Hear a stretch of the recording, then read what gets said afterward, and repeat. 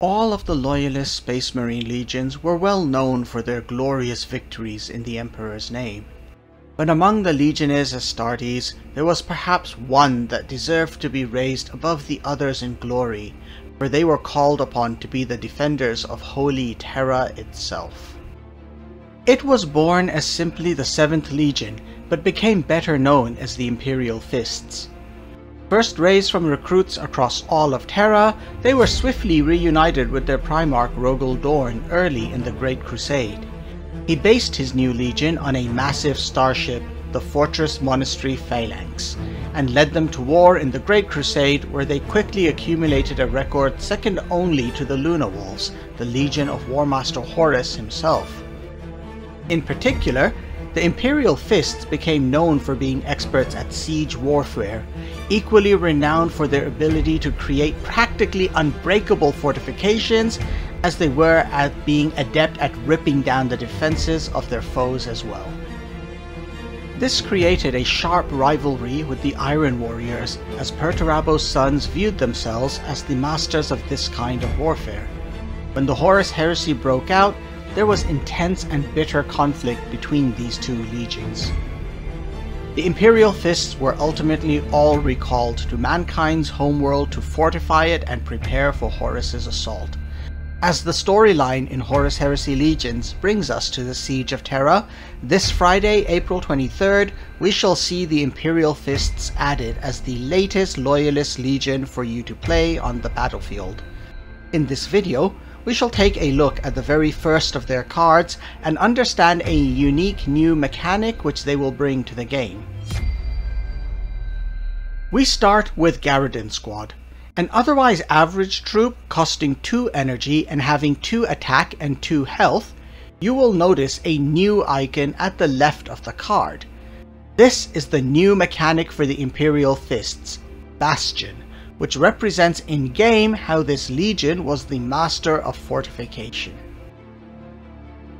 Bastion is a fairly straightforward mechanic. Any damage received by a unit with Bastion must first reduce the Bastion value to zero before the damage can then apply to the health.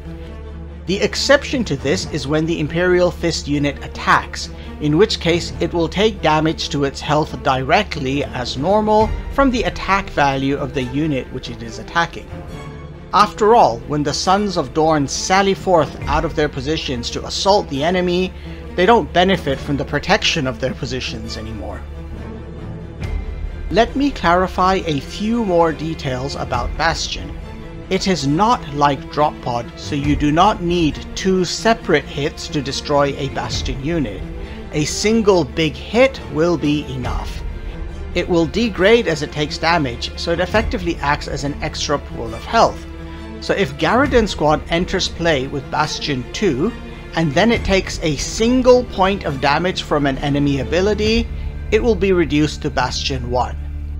If it takes 3 more points of damage from another tactic or ability, or frankly from an attack, then the first point of incoming damage will destroy the remaining Bastion value, and the last 2 points of damage will then destroy Garridan squad.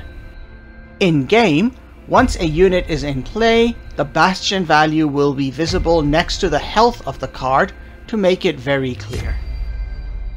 In addition, the only damage that ignores Bastion when the Imperial Fist unit is attacking is the damage from the attacked unit's own attack value only. If any other effects trigger from the Imperial Fist attack, such as Rage or Backlash, the damage inflicted to the troop will first apply to any remaining Bastion on the Imperial Fist before it goes through to the Imperial Fist's health. With that, it is time to see a more substantial troop. Templar Brethren is a 6 energy cost Astartes with 5 attack and 4 health. These below average stats are compensated for with Bastion 3, which potentially makes it 5 attack and 7 health, just about average for the energy cost if the situation is right to maximize the value which you get from Bastion. However, they bring something extra to the battlefield. When you put them in play, your warlord gains Bastion 3.